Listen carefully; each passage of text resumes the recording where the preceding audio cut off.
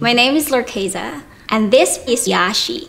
So We decided to get married. We skipped the engagement. And I told him, you know, um, it's okay if I don't get a ring. I said, two years down the road, I forgot about the ring.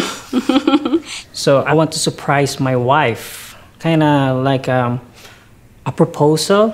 And I saw the, the Tiffany Yeah, she store. oh, there's a and I Tiffany said, oh, store." oh, there's a Tiffany store here. I said, Actually, I told her we're not gonna go in there. Yeah, I said, I said, let's go look. Come on. And he's, he goes like, we're not gonna go in there.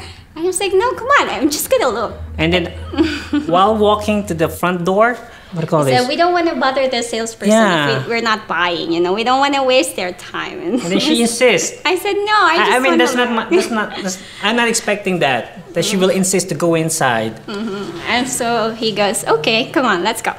So inside, And he goes like, just look, do not buy. I said, okay, I promise. and so we went inside. I said, I I wonder where the rings are. And he goes, come on here. I think this is where they have the rings on display. And so he brought me to like this area where the rings are. Those engagement and rings? I said, I wonder where the heart-shaped ring is. And he goes, you know, just go look over there. And so I was looking at the display.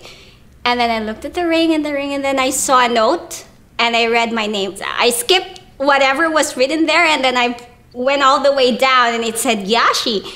And I was like, I read it again. This is what it says. Um, as we continue to change with age, there is one thing that will never change. I will always keep falling in love with you, Yashi.